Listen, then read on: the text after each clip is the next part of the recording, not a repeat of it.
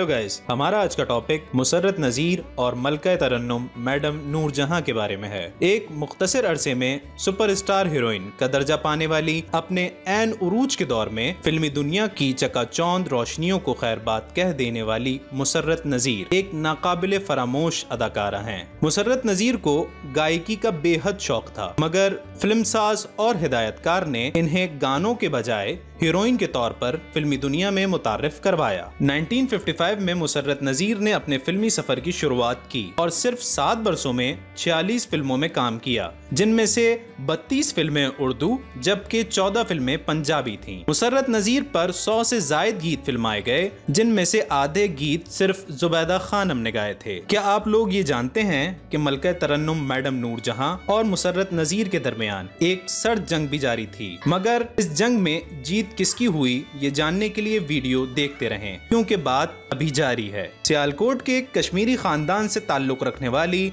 मुसरत नजीर ने कनाडा के एक पाकिस्तानी डॉक्टर से शादी की और फ़िल्मों को खैर बात कहने के बाद दो अशरों तक पाकिस्तान से बाहर रहीं। लेकिन 1980 में मुसरत नजीर एक मंजी हुई गुलकारा के तौर पर धमाका खेज अंदाज में अपनी वापसी की। इनका गाया हुआ गीत मेरा लॉन्ग गवाचा एक ज़बरदस्त गाना साबित हुआ, जो फिल्मी दुनिया में किसी भौचाल से कम न था। मौसीकार एम अशरफ ने मुसरत नजीर के इस गीत को फ़िल्म दुलारी में शामिल किया, जो कि अंजुमन पर पिक्चराइज हुआ। ये फ़िल्म टेंथ जुलाई 1987 को रिलीज़ हुई और सुपरहिट साबित हुई। मगर फ़िल्म के रिलीज़ होने से पहले, जब ये खबर मैडम नूर जहाँ को मिली तो इन्होंने फ़िल्म साज और मौसीकार एम अशरफ को ये हुक्म दिया कि यही गीत, उसी धुन और बोलों के साथ उनसे भी गवाकर फ़िल्म में शामिल किया जाए और फ़िल्म को पहले रिलीज़ किया जाए। चुनाचे ऐसा ही हुआ, क्योंकि मैडम नूर जहाँ का फ़िल्म इंडस्ट्री पर ऐसा कब्जा था कि किसी फिल्मसाज